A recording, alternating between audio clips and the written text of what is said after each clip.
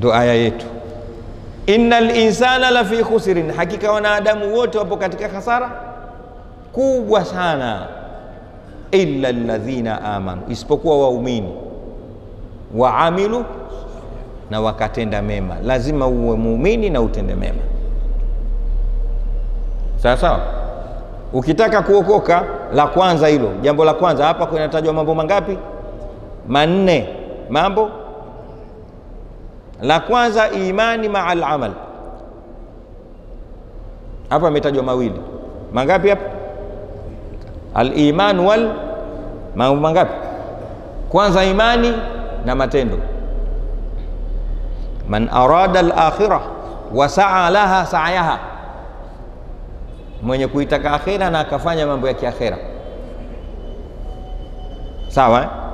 Kwa hiyo imani la kwanza, la pili illa alladhina amanu kwanza, wa amilu salihati pili, kisha watawasau bilhaqi, wakawa wanahusiana haki haki, watawasau, niko sawasawa?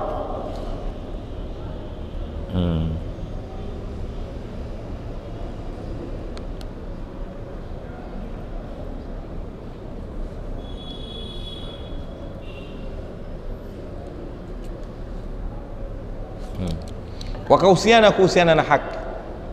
Haki ni tafsiri ndefu kabisa. Mungu ni haki. Mungu ni nani? Alhaq. Lakini Qurani yenyewe haki, mtume haki, dini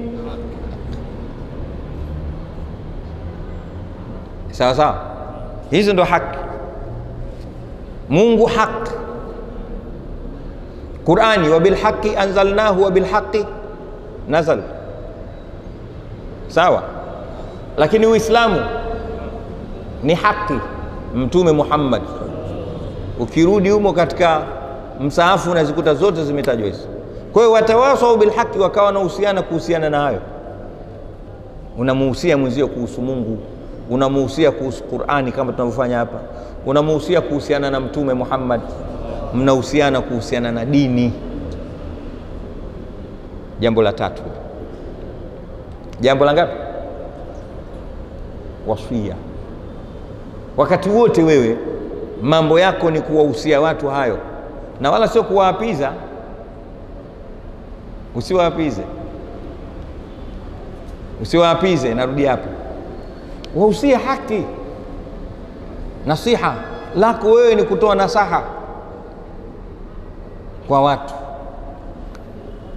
usia mambo ya kheri. Istausu binisai khaira eh? Na hata kama utakadhibishwa utafanyaje, mtu atakufanya chochote, we muhusie haki tu, wala usimhukumu. Makosa mengine tuliokuwa nayo tunahukumiana eh? Nafika pala huyu imamu huyu, maanake ushanimaliza sifai kabisa. Huenda ninayo hayo kweli, lakini mbona ushanitia motoni na mimi niko hai bado? Tena basi ninasema la ilaha illa Allah Muhammadu rasulullah eh? Usinihukumu. Umirna an nahkuma nnasa bihasabi dhawahirihim Tumeamrishwa sisi kuwahukumu watu kwa kiasi cha dhahiri yao. Tushaeleza mifano hiyo mara nyingi sana. Hata akikukadhibisha mtu, we muhusie tu, usii kabita kwa Allah. Kesho atakuja tena usu, mpaka iko siku atakubali, ikiwa yule kaandikiwa kufanyaje? Kukubali. innaka la tahdi man ahbabta walakin Allah yahdi man yasha. Mmoja katika wazee wake Unajua Ali bin Abi Talib, Ali babake, unajua Saidina Ali babake nani eh? Abu Talib alisilimu eh? Jamaa alisilimu, lakini alikuwa anapigania Uislamu sana eh? kuhusiana na Mtume Muhammad na siku aliokufa eh? Mtume alihuzunika sana, akauita mwaka ule wa amul huzni, lakini amekufa, no shahada no nini. Mtume akalia.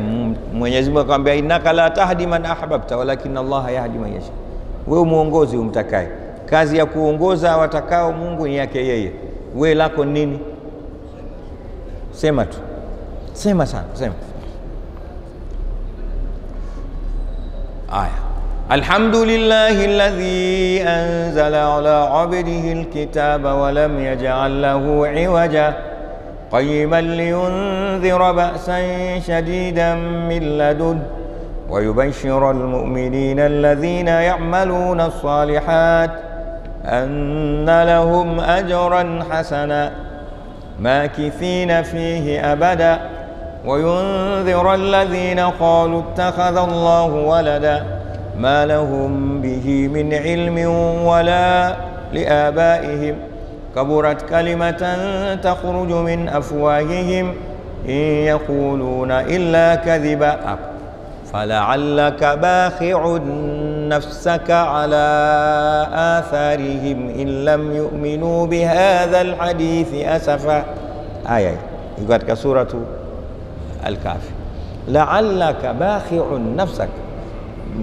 Huenda wewe Muhammad ni unakaribia kujitoa roho eh, kwa kuwafatilia hawa kwa nguvu kubwa sana, kwa kutoamini kwao kitabu, kwa masikitiko yako.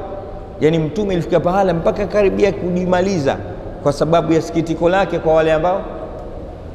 Ambia, we waambie tu, waambie kazi yako nini, ndo kazi yako wewe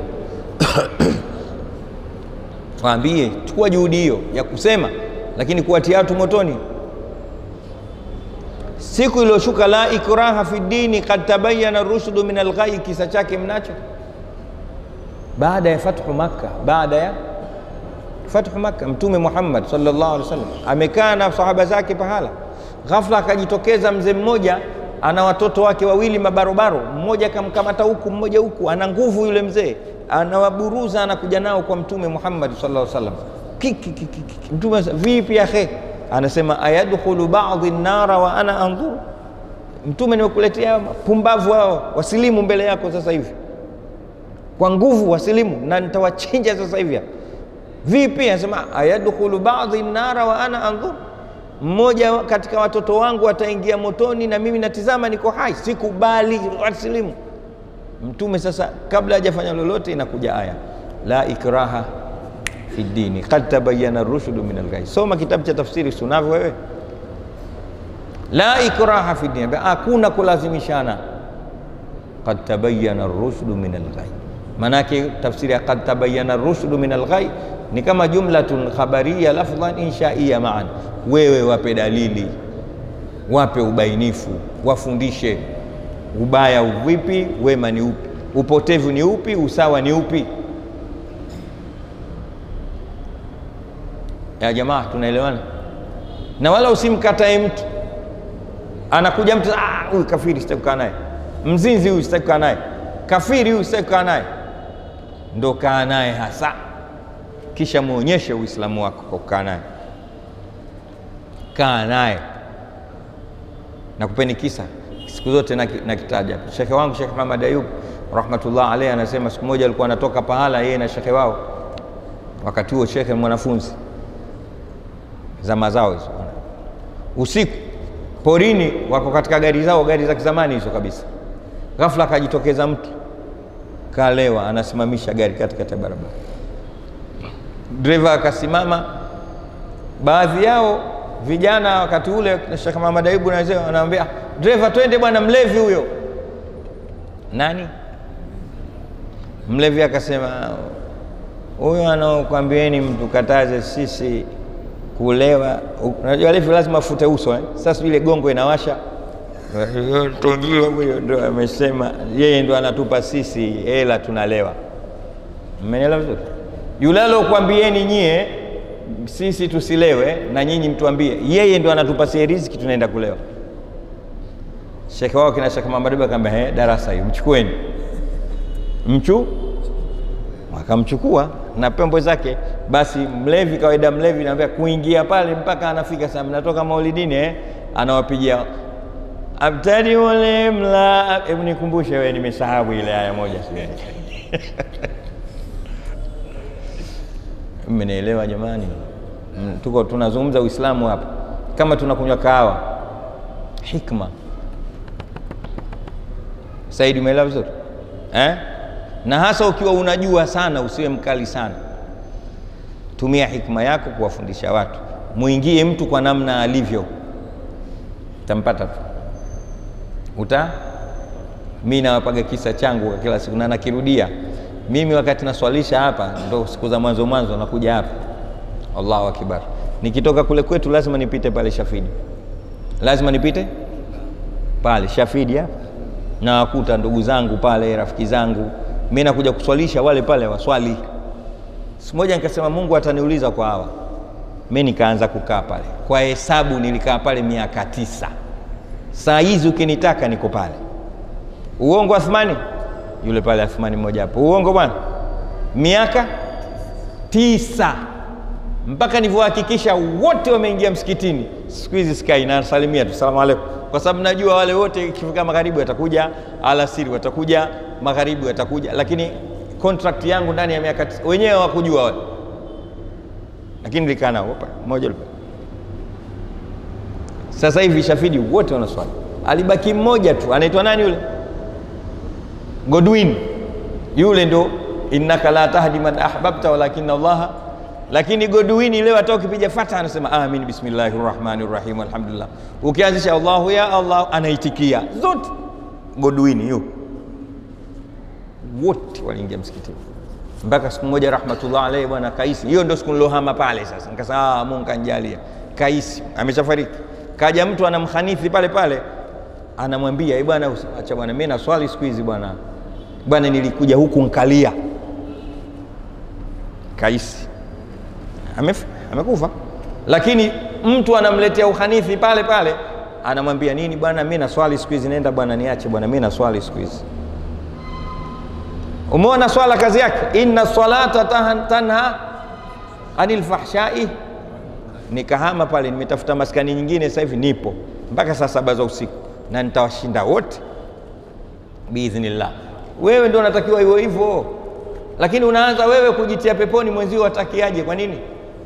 ahibba linnasi ndio watawasau bilhaqi, watawasau ndio hiyo, illa ladhina amanu wa amilu salihati watawasau.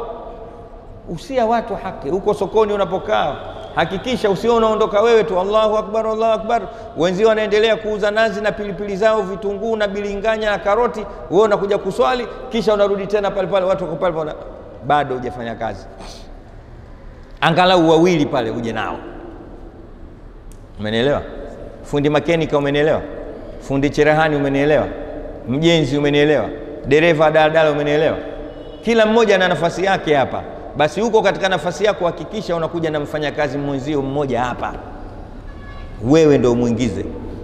Mtume anasema mtu akijalia kumwongoza mtu mmoja tu, basi ni jambo bora kuliko kupewa ngamia mia mbili wekundu au ngamia mia. Mungu atujalia.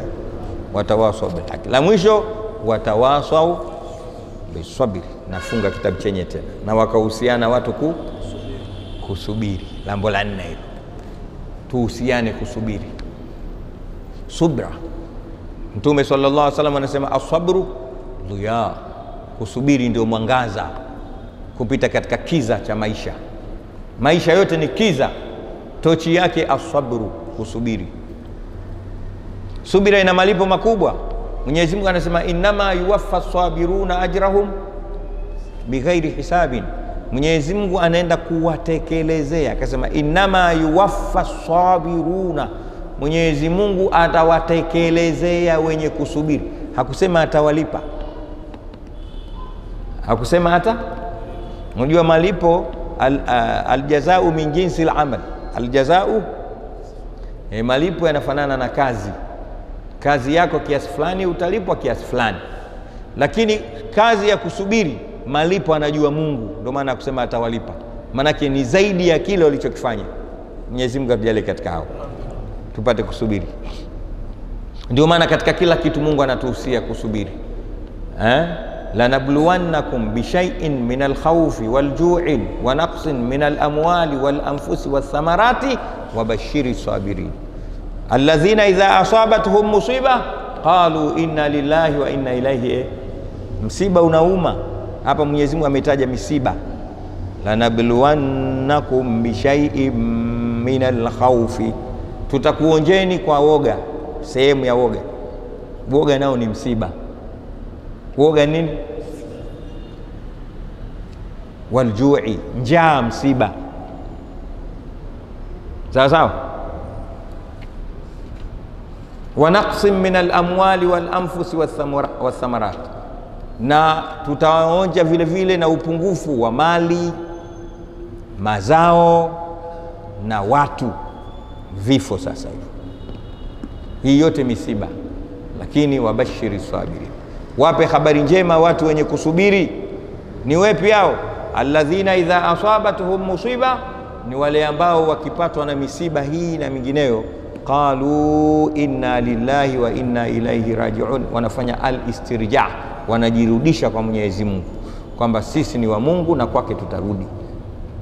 Yaani ndio mwisho wa kipimo cha subira ya mtu, sawa sawa na kusubiri kuko katika yote eh? Kusubiri juu ya ugumu wa kufanya hizi ibada, kwa sababu sio mchezo. Sasa kuacha kazi zako ukaja dukani inauma hiyo, kuacha kazi zako ukaja msikitini ngumu hiyo. Subiri uchungu ule wa kuacha wateja ukaja kuswali, lakini pia usubiri kuacha utamu wa maasi, maasi matamu, pombe. Walevi wenyewe akwambia, bwana mimi mteja bwana, mimi addicted bwana, muhanga, siwezi kuacha. Zina, wizi, waliyadhi billah, vitu vitamu hivyo, sawa sawa? Eh? Mnaonaje? Kuna mtu kazo, kaonjwa na kula rushwa na rushwa inamtilia mafedha kweli. Kula rushwa kwa mtu huyu kwake ni kutamu, aache asubiri kuacha ule utamu wa utamu wa rushwa. Kuna mtu kazi yake yeye kaonjwa na kusema wenziwe tu, kama hajamsema mtu au hajafitinisha watu wakagombana, kazoe. Yani yeye hamu yake, wangapi wamegombana leo kupitia kinywa chake na mipango yake, ndo raha yake. Eh? Kuna watu baadhi ya miji wanaswali swala tano. Haimpiti swala tai, lakini ikifika isha nyumbani lazima alewe. Kweli, na wanajijua. La alewe. Chakali usiku kucha, asubuhi anapiga mswaki, ana alfajiri yupo msikitini, lakini jana kalewa.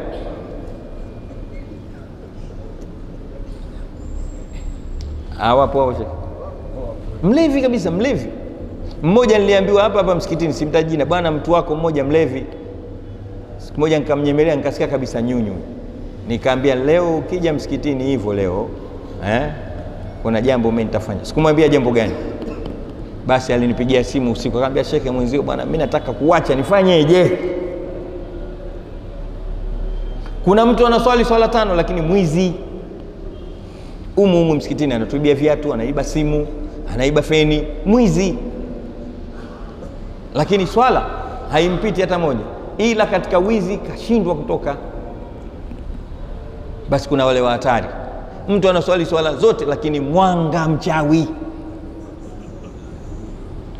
Mnaelewa vizuri? Mwanga, lakini na Qur'ani anajua, sijui nini, anaswali vizuri kabisa, lakini usiku shu, ana ungo wake, anaruka hapa na Zanzibar kwenda na kurudi mara sita. Mwanga, mtihani ule nao. Mwingine mzinzi, tena wake za watu, rafiki yako kabisa kipenzi, lakini ukiondoka mkeo ndo mke wake, na laghai kama yeye kwa wake za watu sio mchezo. Mtu wa kawaida ampate, lakini mke wa mtu umpe utakavyompa. Ukimpa gari mkeo, ukimjengea nyumba, lakini akikutana na mwanamume wewe kaenda na maji na ana sense tano, lakini utamu wake yeye atembee na wake za watu. Mtihani huo mote humu inataka subira, kuacha vitu hivi. watawasau bilhaqi watawasau bisabiri. Subira maana zake kuu mbili. Subiri, kusubiri kwa maana ya kungoja, nishawahi kuitaja hii. Unasubiri maana ya nini? Wakati ufike, unaambiwa subiri, wakati bado eh? Kama ile subira ya Ramadhani, njaa imekushika, kiu kimekushika, lakini wakati basubiri, unasubiri pale eh? Wakati ukifika, Allahu akbar, Allahu akbar, kuna maji. Nakula tende. Lakini pia kusubiri kupata mtoto kabla ya ndoa. Eh, baada ya ndoa, kusubiri kupata mtoto baada ya. Kuna watoto, watu wengi wameshindwa kuvumilia, subira hiyo imewashinda, wana watoto kabla ya kuoa kwao, subira imewashinda, weshazaa lakini hawajaoa bado, kashindwa subira yenye maana ya kungoja eh? Unaanzaje mtoto kabla ndoa? Unaambiwa subiri. Ukitaka mtoto eh, wa kwanza. Mswalini Mtume Muhammad. Kusubiri mshahara ufike, mshahara ufike, mshahara. Kabla ya mshahara mtu anaiba, subira. Lakini subira ya pili, kuvumilia. Hii ya kwanza, subiri ya kungoja ina madhara makubwa sana. Leo nataka kuambia asilimia tisini ya ajali za barabarani ni watu kukosa subira ya maana ya kungoja. Anaambiwa kabisa mwendo wetu Tanzania eh, ujitahidi utembee kwa saa kilomita ngapi? Spidi Thamanini. Sama utaona gari zote zimeandikwa eh? KHP 80 yani 80 kilomita, yani spidi 80, hata kama gari ina spidi mia mbili lakini Tanzania tunaambiwa ndio umekwenda mwendo kasi. Unatoka hapa unakwenda Mbeya, unatoka hapa unaenda Tanga, unaenda wapi? Ndio mwendo kasi, spidi 80 tu. Gari yangu mimi na spidi mia moja na themanini. Hizi mia zote niziache, nitumbie zile 80 tu, ile crown inaotumia mia. Tumeelewana? Ukifika katika sehemu za public, tembea mwendo wa spidi hamsini, subira ile. Lakini watu hawana subira hiyo. Msikilizia, anaondoka hapa, lazima amalize kile kisani chote, imemshinda subira, gari inapasuka tairi, anaanguka. Unafika barabarani, unaambiwa ngoja gari zipite ndo uvuke basi subira hiyo umeshindwa na watu wa bodaboda. Nenda kakae pale sasa hivi kwenye mataa, uwaone watu wa bodaboda, wao taa yao lazima iwake kijani, wao wanapita na nyekundu. Juzi nilikuwa nawahi muhadhara pahala, time nimechelewa, ikabidi nipande bodaboda, lakini nikamwambia yule dereva, naomba niendeshe mwenyewe. Ah, shehe, unaweza? Nikamwambia sana, we niambie tu, nakwenda katika mahadhara Mbagala, bei gani? Kiasi kadhaa hela yako hii, lakini nipe steering. Basi taratibu, si nishamlipa eh, mpaka nimefika. mbaya, tumefika, alhamdulillah. Ah, kimbia sasa, kimbia sasa. Ajabu, safari yangu mimi mbio, uende wewe vipi? Subira. Basi hata majumbani, majumba yetu yanavunjika sisi kwa kukosa subira. Wanawake wanakosa subira, wanaume wanakosa subira, zote mbili, kusubiri muda na kusubiri machungu. Ndio siku mbili tu watu wameoana, wameachana ni aibu pia kumwacha mke baada ya miaka mitano, pia bado ni muda mfupi. Ndani ya miaka mitano hii yote ilikuwa bado mnasomana tabia zenu,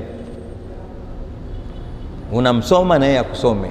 Kuanzia mwaka wa sita, mambo mazuri, ushamjua mapungufu yake na makamilifu yake, naye kisha kujua mapungufu yako na makamilifu yake, mnaishi vizuri. Lakini mwaka mmoja, ah bwana, hapana, habadiliki. Utawaacha wote hawa waliowaumba Mungu Mswalie Mtume Muhammad, utawaacha wote, kwa sababu kila anayekuja anakuja na tabia zake. Ndio maana Qur'an inasema watawasau bilhaqi watawasau, tunahusiana kusubiri. Subiri, Shekhe, juzi tumepeleka posa yako pale, uje nikupe darasa hilo inshallah. Mungu akijalia, tutaishia hapa leo katika suratul Asr. Maneno bado yako mengi, tumejaribu kuyapunguza punguza, kwa sababu lengo letu darasa hii ni kukumbushana ala tariq alwadhi, lakini pia tunaisoma ili pale inaposomwa katika swala tujue kinachosemwa kitu gani. Wal asri, na hapa kwa zama, innal insana la fi khusr, hakika wanadamu wote wapo katika hasara kubwa, illa alladhina amanu, isipokuwa wale waliomwamini Mwenyezi Mungu na mtume wake, wa amilu salihati, na wakatenda mambo mema, watawasau bilhaki, na wakawa wanahusiana haki. Hapa Mungu ametumia neno tawasau wizani watafaal kwa maana ya wewe na unanihusia na mimi nakuhusia. Kuna baadhi ya watu wanataka kuhusia watu wao wao tu, lakini yeye akihusiwa anakasirika. Mungu ametumia watawasau, kuhusiana ni huku na huku, sijui umeelewana. Usije kama ndio shekhe sana, mtu akikwambia unaanza ku, ku huyu nijui mimi. Aa, Mungu anasema tuhusiane, watawaswa mimi nikwambie na wewe uniambie, usiogope kunambia, kwa sababu mimi imamu wako hapa. Ukiniona nakwenda hivi, tumia watawasau bilhaq, watawasau bisabr. Sawa sawa. Eh, kile kisa cha Sheikh Ahmed bin Juma anasema alitoka shekhe mmoja na wanafunzi wake wanakwenda mji fulani, ndani ya gari, ndani ya boti, walisafiri safari za bahari. Njiani shekhe anawaambia wale, jama jama, tunakwenda huko, tahadharini jama na vitu vya watu, tahadharini na macho huko, kuna mabinti za watu, kuna wake za watu. Shekhe kawa usia, kawa usia mpaka wanafunzi wame, wameorojeka wameelewa, wakaifika katika ule mji, wakakaa siku ya kwanza, ya pili, ya tatu, wanasikia kama hata huyo shekhe piga wewe, wanakwenda pale shekhe wao. Kisha pigwa vya kutosha. Ah, wakambaba jamani, shekhe huyu sallallahu alaihi wasallam, wakam shekhe, vipi hasa tatizo? Mimi niliwaambia nyie mkunambia. Kwa hiyo jamani, tuambiane eh? Eh, binafsi yangu mimi ukiniambia ndo unapenda sana, usiponambia na kushangaa wewe unanipenda mimi, ili nijue kipimo cha kwamba wewe unanipenda, niambie. Walidi, una moja mbili tatu nne, wallahi nakupenda zaidi ya kukupenda. Kuliko kunsema huko, utakuwa hujanisaidia, unanila nyama na hii utapata dhambi wewe eh? ayuhibbu ahadukum an yakula lahma akhihi maita fakarihtumuhu, ile kukaa ukanisema huko unanitafuna nyama eh, unaingia katika adhabu ya lumaza, wailul likulli humazati allumaza. Mwenyezi Mungu atuhifadhi.